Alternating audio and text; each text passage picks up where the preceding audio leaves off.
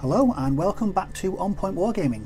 Um, now it seems to be quite a while since I last put a video out, so I thought I'd remedy this with an update into my uh, ongoing Warlords of Erehwon project. Now for those that haven't seen the previous videos, um, we're each attempting to build a 1000 point warband for Warlords of Erehwon for as little cost as possible. Um, I've been breathing new life into uh, my old Warhammer Fantasy Battle Empire army with a lick of new paint and a new um, One background. So what have I been up to um, uh, and what I've been doing? Well, I haven't managed to complete as much as, as I would have liked, but I have made some progress towards completing the entire warband. Firstly, I have finished the last four archers, which has now completed the whole unit.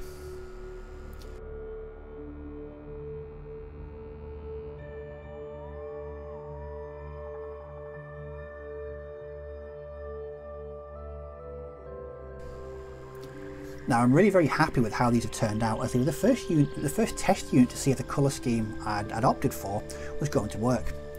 Uh, the scheme, in my opinion, really ties the unit together and it gives it that dark medieval fantasy look that I'm aiming for. Um, in addition to the archers, I've also completed half a unit of retainers armed with halberds.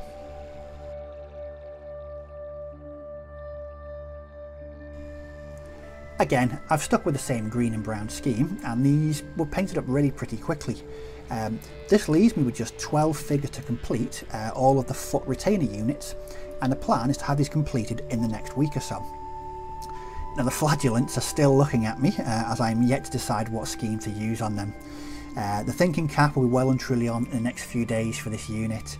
Um, now the flagellants get to take a flaming wheel, um, which is essentially a giant fiery wheel that they roll at the enemy.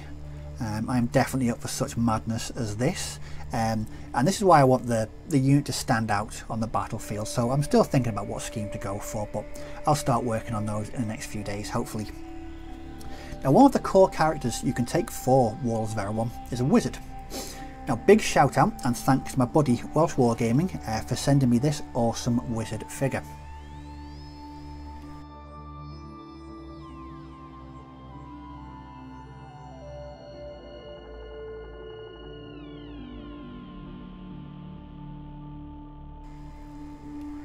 Having seen the previous videos, he told me he had a figure that he thought would fit in um, with the with the warband that I was completing, and he was absolutely spot on. Now normally I leave individual characters to the end of the project, but as soon as I received the figure, I knew I had to get some paint on it. Um, now that it's finished, you can see how well it fits into the project that I, I'm working on. In addition, I've raided my bits boxes again and found a giant rat from an old Skaven set that will now be this guy's ratty familiar. For me, this is a great example of, of why I love the gaming community so much. Um, and thanks once again to uh, Welsh Wargaming for sending the, the wizard figure to me. It's much appreciated, dude. Thank you. I'll pop a link to his channel in the description below. Now he's currently working on converting his Celtic army for Warlords of Erehwon and it looks fantastic. Uh, best of all, he has a war mammoth that you really need to check out.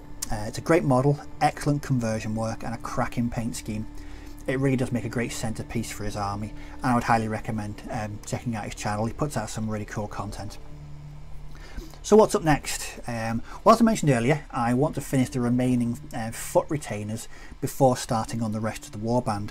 Uh, I have cavalry, uh, the flagellants, and also uh, Duke Hubert de Virmont himself. Uh, I also have plans for a, a, my next Erehwon project, but that's going to have to wait for now. Um, in addition to Erehwon, I'm still working on bolt action, so uh, my Australians are quite close to completion. I think I've got about eight figures um, before the Australians are, are fully done. Um, in addition to that, I've all just also just started working on a another section of Winter Germans for my Stalingrad uh, bolt action project.